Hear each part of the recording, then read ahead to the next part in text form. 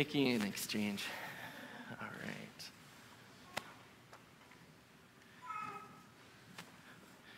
All right, so let's pray. Gracious God, we give you thanks for this morning. We give you thanks for the opportunity to hear uh, your word uh, read from Scripture and also your word shared uh, from the uh, inspiration that you offer. Uh, Lord, as we gather in this time, I personally ask that either because of me or in spite of me, that you bring a message to your people this morning. In Jesus' name we pray. Amen. All right, so in our Finding Faith at the Movie series, our feature for today stretches a little bit beyond the screen to the stage as we take a look at parts of the Broadway hit Hamilton. And I'm, I'm excited to share this, but I'm also a little sad this morning because the inspiration for this was actually Emma Sheridan. She's a huge Hamilton fan, uh, and she's heading to Girl Scout camp.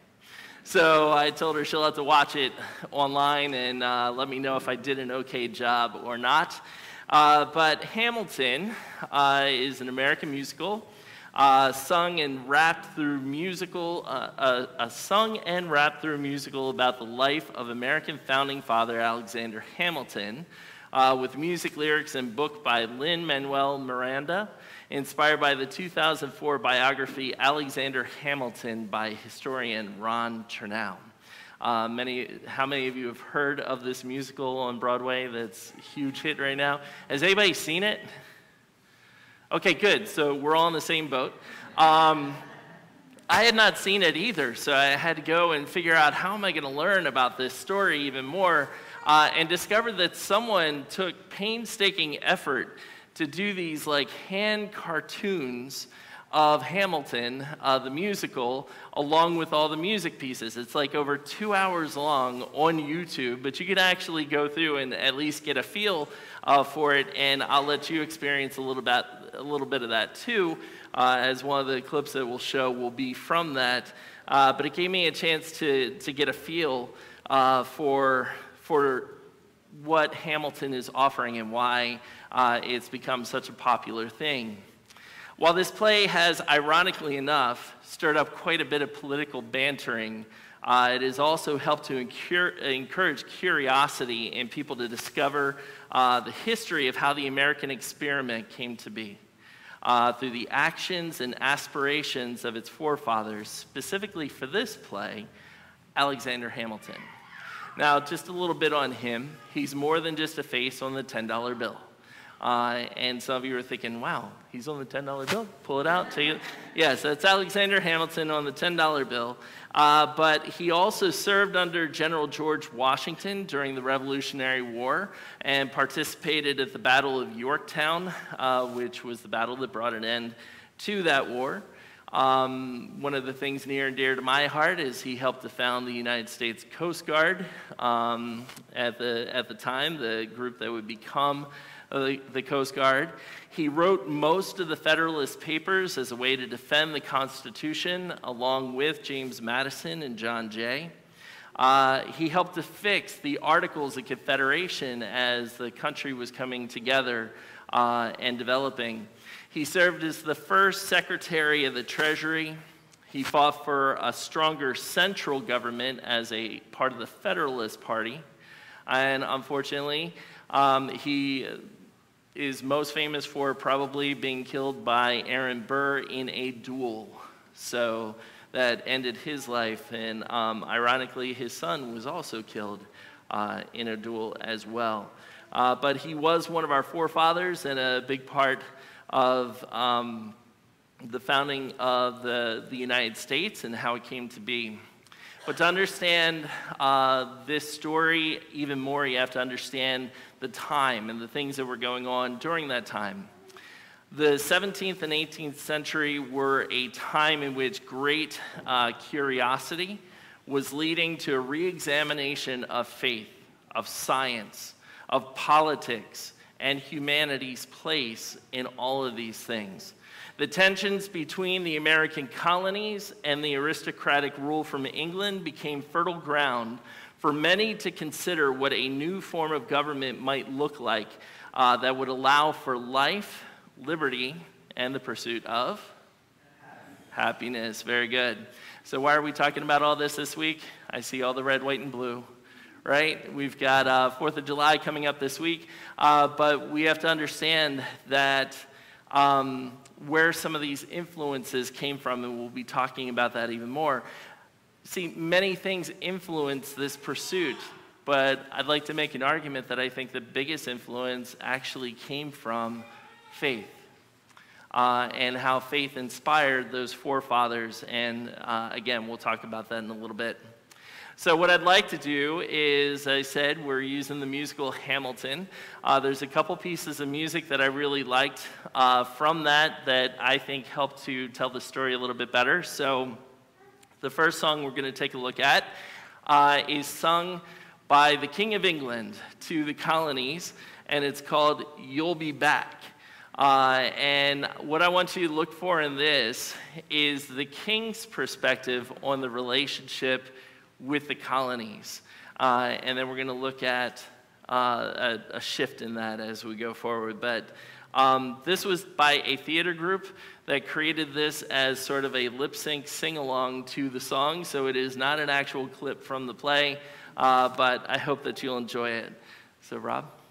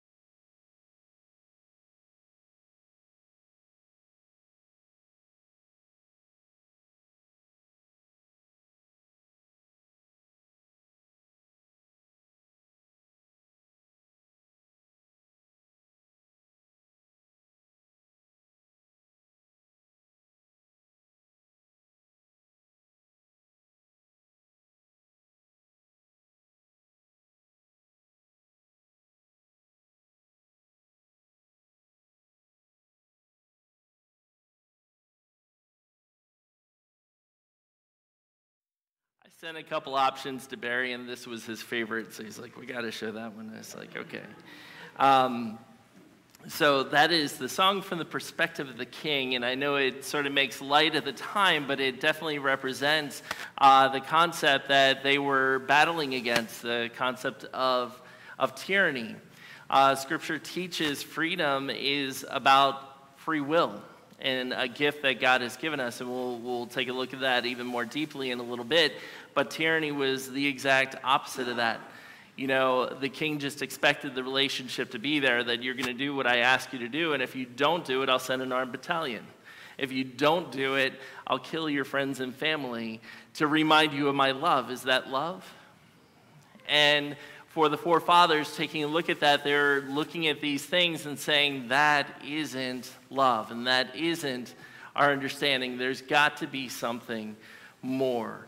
So they looked at liberty which the definition for that is the state of being free within society from oppressive restrictions imposed by authority on one's way of life, behavior, and political views. They were looking for something that would offer opportunity for free will. So, our second clip gives a little bit more uh, look into the, the mindset and philosophy and thought uh, behind another one of our forefathers who Alexander Hamilton served under. This is George Washington. Um, and at the time, uh, the people loved him so much that they actually wanted him to become president and stay that way. There were even folks that wanted him to take on almost a kingship uh, of rule. Um, and he saw that that would just lead to the same type of stuff that they had been fighting against. Uh, so, in this song called One Last Time, uh, he is representing the transition that he's trying to create and sharing how faith actually inspires that uh, for him. So, this is the cartoon drawing. No, it's not. I think it's the lyrics piece, right? Trying to remember which one I put in. All right, so anyway, I think it's the lyrics because I wanted you to be able to see the words. Uh, but enjoy the song and then we'll talk about it. Thanks.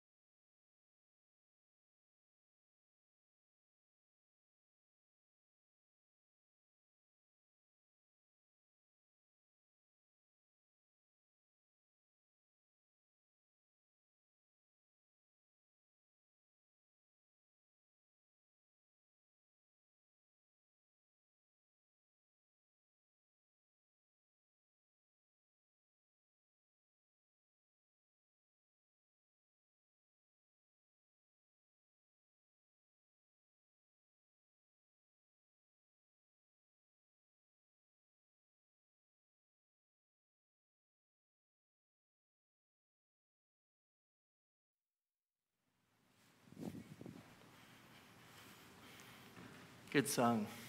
Uh, George Washington said, If I say goodbye, the nation learns to move on. It outlives me when I'm gone. Like the scripture says, everyone shall sit under their own vine and fig tree, and no one shall make them afraid. They'll be safe in the nation we've made. I want to sit under my own vine and fig tree, a moment alone in the shade, at home in the nation we've made, one last time. Um, he and many of the other forefathers were inspired by Scripture. Where do we see another key figure who realized that if he stayed, the people would be so dependent upon him that they would never live into the freedom that was given to them by their Creator? Jesus Christ did the same thing. Jesus came for a time. He taught. He gave the gift of grace, the gift of the Holy Spirit. He gave everything that was necessary for people to live into the fullness of everything that God had given them, the free will that was given to each and every person on the planet through God. But if Jesus stayed, he would have been elevated. Even Satan in the temptation in the desert tried to lead him into that kind of temptation to stay and take on kingship and everything else, but that's not what God intends. If we go back into the Old Testament, we see that struggle of the Hebrew people wanting a king. Even though God said, You don't need a king, you've got me, they still struggled. They wanted a king, but that's not what God desires for us because God wants us to have and enjoy freedom. Not only have and enjoy it, but learn from it and grow from it and share it with everybody else. If we take a look at our scriptures today, thank you again, Molly, for last minute sharing that, um, coming back from mission trip and going right into to reading this morning. I really appreciate that. Um, but we look at Deuteronomy and it's saying this commandment that I'm giving you right now is definitely not too difficult for you. It isn't unreachable. It isn't unreachable. It isn't up in heaven someplace. It's not on the other side of an ocean. It's something that's attainable, something that you can grab. It's easy. Free will and the freedom that God offers is something that's easy to grasp and take. It's not too lofty for us. It's not something where we need a king or an official or a government to be able to get it for us. It's something that we have with us. It says, Look here, today I've set before you life and what's good versus death and what's wrong. If you obey the Lord your God's commandments that I, com- I am, I'm commanding you right now, by loving the Lord your God, by walking in his ways, and by keeping his commandments, his regulations, and his case laws, then you will live and thrive. And the Lord your God will bless you in the land you are entering. That's a whole lot different from a king saying, You have to stay with me. You have to do these things. This is God saying, Here's the deal I'm offering you a gift. It's easy to attain, it's something easy for you to grab. All you have to do is take it. And if you do these things, then you will be blessed and all will be well. Um, it's not a, if you don't do these things, I'm coming after you. It's still that free will offering. And then in Galatians, it gives us even stronger. It says, You, my brothers and sisters, were called to be free. Do not use your freedom to indulge, indulge the flesh. Rather, serve one another humbly in love. For the entire law is fulfilled in keeping this command love your neighbor as yourself. If you bite and devour each other, watch out, or you will be destroyed by it. Um, and one thing I missed from the Deuteronomy piece it tells you where you can find that freedom. It's written in your heart and on your tongue. It's, it's something that, again, like I said, it's a freedom that is offered to us. And this is something that the forefathers realized in trying to come up with something that would work toward that. Many historians call the government that the United States has, has an experiment in democracy because it's something that was never done before a government that would literally be looking toward life, liberty, pursuit of happiness. Do we do it well? Sometimes, yeah, sometimes not. But it's an experiment. We keep trying. But they were inspired by faith to come up with this. We need to continue to look to faith to figure out, as Christians, how we can share that not just in the United States, but beyond this as well. How can we take the freedom, the free will that we've been given, and share it with others? Well, part of it is it's a responsibility that we've been given. Um, it's something that we need to appreciate, we need to be responsible for, and we need to be intentional about trying to share it with others because every single person on the planet deserves the freedom that God has given, deserves life, liberty, pursuit of happiness, and looking toward that. Um, so, with that in mind, as you take time this week to celebrate the freedom uh, that the U.S. fought so hard to attain and the great experiment of government that continues to be worked out, I ask that you please take time to examine even more the freedom that God created and instituted for all of humanity. As Christians, we need to do all in our power to assure that all of humanity is able to attain and enjoy the freedom that God has offered for all of creation. Amen.